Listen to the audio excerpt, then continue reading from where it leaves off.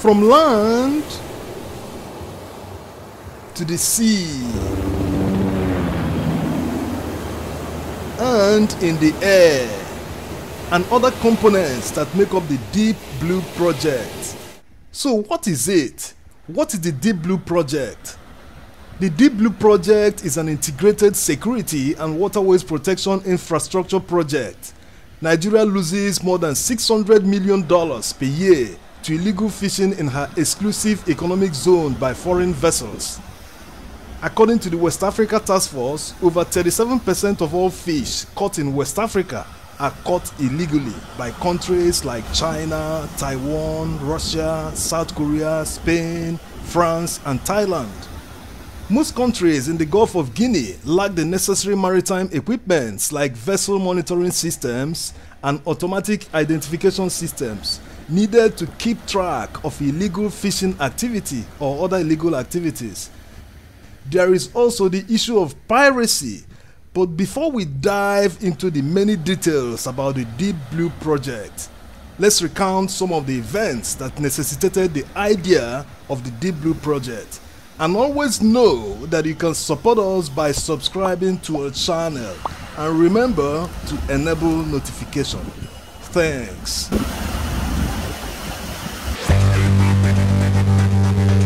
February 11, 2016, a petroleum product tanker named MT Maximus, loaded with 4,700 metric tons of diesel, was sailing about 17 nautical miles south of Abidjan, Cote d'Ivoire in the Gulf of Guinea.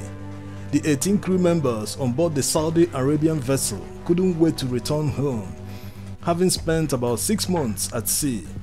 But that wait to return to their loved ones would become even longer as they were soon approached by two fast-moving speedboats. Inside these speedboats were 14 Ghanaian and Nigerian pirates whose intention was to hijack the vessel and take it to the international waters in order to steal its AGO fuel cargo. They soon boarded the vessel through the bridge and took over control without much resistance. They threatened to throw overboard or shoot anyone who put up resistance. The pirates, having taken over control of the ship, quickly painted over a new name, renaming the vessel as MT Elvis 5. They also took off the automatic identification system. The AIS is an automatic tracking system installed on vessels and ships alike that is used to identify or track the vessel. Think of it like the GPS on your smartphone. Turning the AIS off prevents the vessel from automatically exchanging information with other nearby ships. This will help the pirates to evade capture. But hot on their heels was the USNS Spearhead that was stationed in the region at the time. The Spearhead is an expeditionary fast transport vessel that has a maximum speed of 43 knots. It was in the region because of a training and exercise support. The spearhead tracked the hijacked MT Maximus, following it for two days until it entered the Ghanaian waters. They signaled the Ghanaian Navy to continue the shadowing of the vessel. The Ghanaian Navy did their own part until the vessel entered Togolese waters. Because the vessel is now drifting 200 nautical miles off Togo, Togo and Benin couldn't shadow the vessel at that distance. At this point, it looked like the pirates will have a field day stealing the 4,700 tons of diesel in the empty Maximus. Hope finally came as the Nigerian Navy turned two patrol vessels on their tail, the NNS Okpabana and NNS Sagbama. But first, they had to obtain permission from Sao Tome and Principe because the empty Maximus was now in their territorial waters.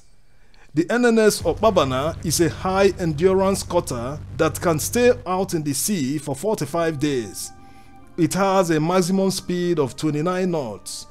On the other hand, the NNS Sagbama is a gunboat with a speed of 28.5 knots.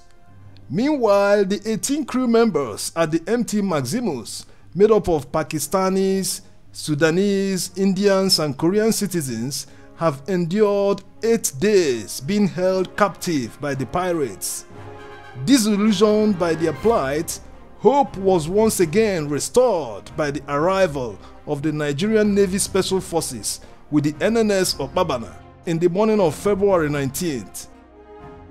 The NNSBS, as they are called, quickly opened negotiations with the pirates. The negotiations went on for about 8 hours until one of the pirates fired some shots from the vessel's bridge. The Nigerian Navy quickly returned fire, hitting him in the process. The special forces, thinking things might get worse, decided to board the stricken vessel.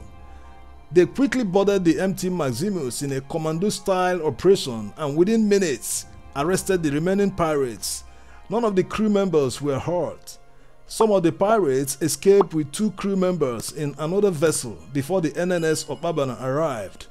That vessel will later be found drifting off the coast of Benin Republic. The Cambodian flag tanker MT Dejiku was earlier seen in February 16th heading south from Lagos. It is believed that this tanker would have been used to siphon the AGO on the MT Maximus. The two crew members that the escaping pirates took with them were later rescued unhurt and the ship towed to Lagos. There are many of such stories that happened over the years. The cost of piracy in the Gulf of Guinea due to stolen goods and insurance is estimated to be more than $2 billion per annum. The Gulf of Guinea is classified just like a war zone it's like when a container vessel or tanker is going to a country or region where there is active uprising. These add additional costs to businesses in the region. The shipping costs to this region are more expensive than equivalent distances in other parts of the world. These events are what brought about the $195 million Deep Blue project. With the Deep Blue project, everything will change for the better. It will bring the fight to the pirates with modern and state-of-the-art equipments. These equipments include 17 fast response vessels that can do up to 50 knots, two special mission vessels, two special mission long-range aircrafts, three helicopters, 16 armored vehicles, and 4 drones that are capable of 140 km per hour. The Tekever AR-3 Netray unmanned aerial vehicle can be launched from land or ships using a catapult. It has an endurance of 16 hours in the air. This will provide a round-the-clock surveillance system from the sky.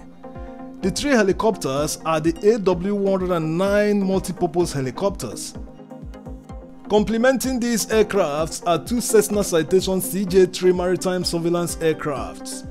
These Cessnas are modified with the state-of-the-art ASIO solution by Bird Aerosystems. The Airborne Surveillance Intelligence and Observation System is ideal for maritime and land surveillance. This modified Cessna Citation CJ-3 is the first of its kind in Nigeria.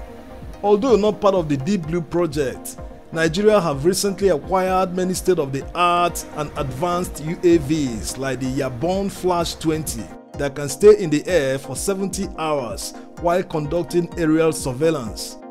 Overall, 22 brand new aircrafts have been acquired in the past 5 years and 19 more are expected before mid-2021.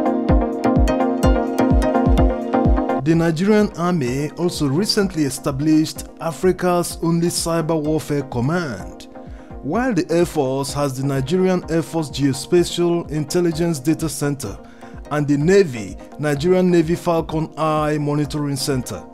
All these commands and services working together will complement the efforts of the Deep Blue Project in fighting general insecurity and ridding the Gulf of Guinea of pirates, illegal fishing vessels, and other unwanted elements. The contractor for the Deep Blue project is HLS International, an Israeli maritime security company. All these ground, sea, and air assets are integrated into the Central Command and Control Center in Lagos. The Command, Control, Computer Communication and Information, or C4I for short, is central to the operations of the Deep Blue project, and the center runs 24 hours non-stop. This is a commendable project that will finally secure and protect container vessels, tankers and other seafarers in the Gulf of Guinea, and also the Niger Delta with its dense network of creeks and swamps. Although the Gulf of Guinea is not the only region that pirates operate in the world, they accounted for about 90% of reported cases in 2020. The other region that sea pirates are reported is the Singapore Straits, where 23 incidents were reported in 2020. In the same Southeast Asia, 26 cases were reported in Indonesian ports, and 12 cases were reported in the nearby Sulu Celebes Sea the previous year. There was no reported incident in Somalia for 2020. Okay, wonderful people. We hope you enjoyed the Deep Blue Project video. Make sure to like the video, subscribe to our channel, and enable notification. Till next time, thanks for watching.